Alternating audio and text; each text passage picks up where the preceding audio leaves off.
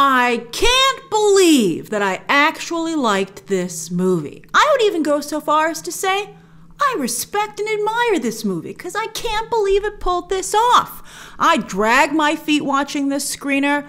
I I felt that the movie would be torture.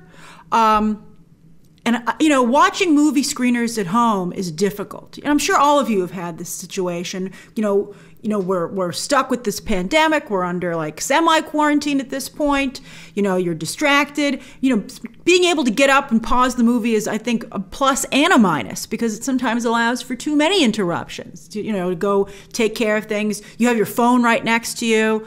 Uh, I think it's again a double-edged sword. But I have to tell you, this is one of the few movies that I've watched recently where I watched it all the way through, and I w- it really had me.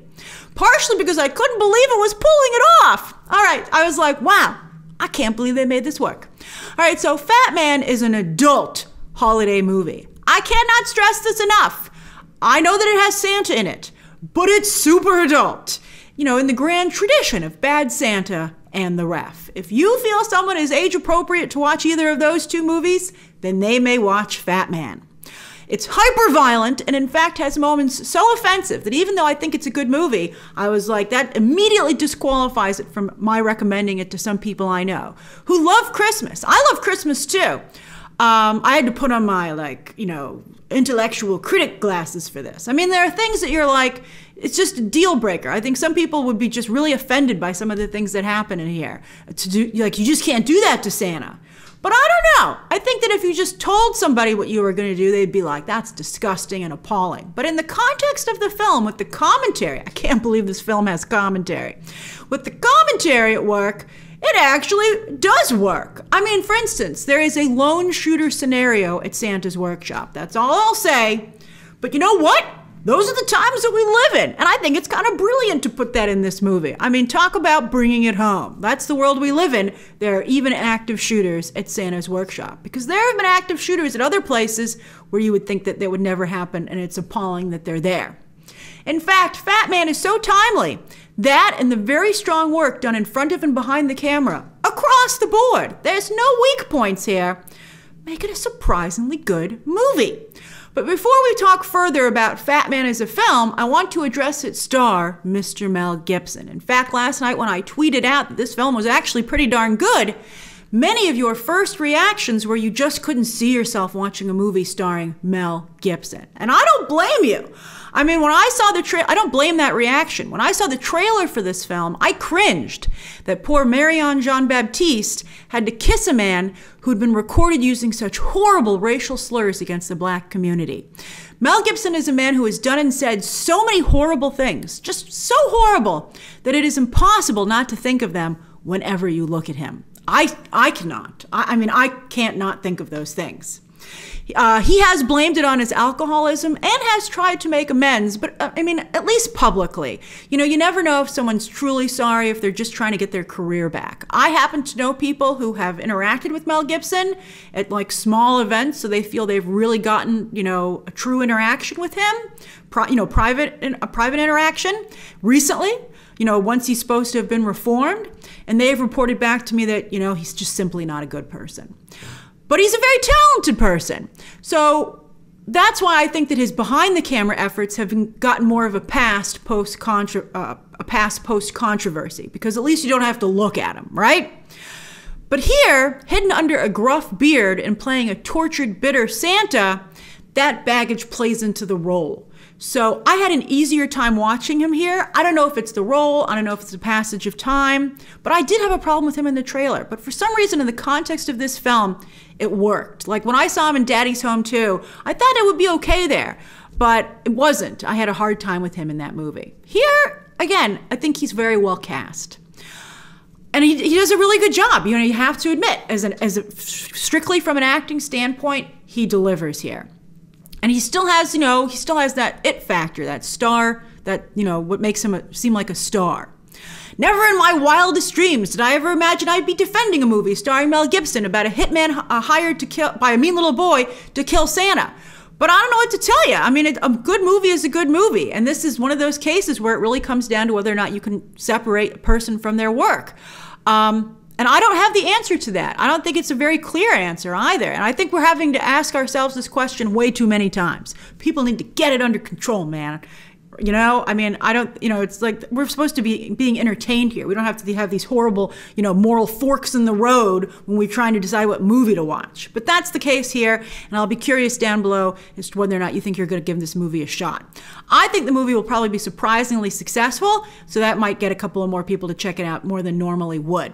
And again, you know, you feel bad for everybody here because they did such a great job. It would be a shame for their work to be ignored, but they did hire Mel Gibson. But he's very good in the role. Oh, it's a really difficult situation. Now, this film was clearly made for almost no money.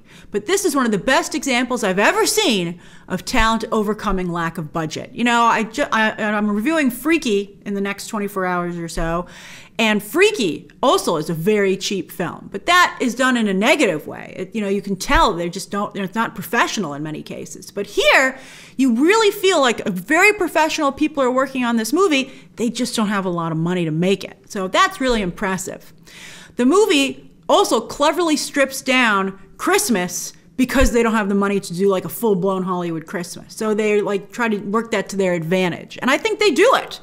It still manages to turn on the holiday cheer with visual touches here and there. I mean, it's like a subtle Christmas feeling, but it's very much there. Plus, some well timed Christmas songs. I thought they were very well utilized, and a very strong music score overall that switches from holiday cheer to tense action very effectively. I was like, I often would be watching the movie and be like, I can't believe this score. I can't believe this scene. This scene should not work, but yet it does. The acting is also top notch across the board, which helps. Even from Chance Hurstfield playing a surprisingly evil little boy. Many times I was like, I think you might have crossed the line with this kid. But I think they made their point. I think they made their point. You know, talking about children becoming maybe a little bit too bad these days was very interesting. Again, I told you this movie has very strong commentary. The Nelms brothers, who have a slim resume that would never even hint that they were capable of pulling this off, really deliver as writer directors. The screenplay, very clever, a top notch mix of drama and comedy. It's very, very nimble, very deft, and, and you know, turning from one to the other. It has excellent pacing that never rushes the story. It feels very organic. And that's that's just it's a wonder to behold. And including the military was a stroke of genius with both strong commentary and raising the stakes in the action sequences. And it also sets up some very clever misdirects. There's one moment in the script, I'm not going to give it away. It's so subtle, but I was just like that was genius. I never saw it coming and it sets the it sets that moment up just so perfectly. And the directing is also very good. Such strong, masterful vision. You know, the uh, the Nelms brothers really know what they want to do here, and they do it. There's a montage of Walton Goggins' road trip to find Santa. It's, it's incredible. It's perfect from Goggins' acting to the editing to what they put in the, each shot. I mean, you got to see it. It's a, it's like like this sometimes does feel a little bit like a student film, but like everyone should get an A plus and like get an agent. You're like, you guys are really talented. Uh, so often, someone comes up with a high concept idea hitman, hired to kill Santa, but then doesn't know what to do with it. See, freaky. But this movie does, and that's really a welcome surprise, a rare surprise.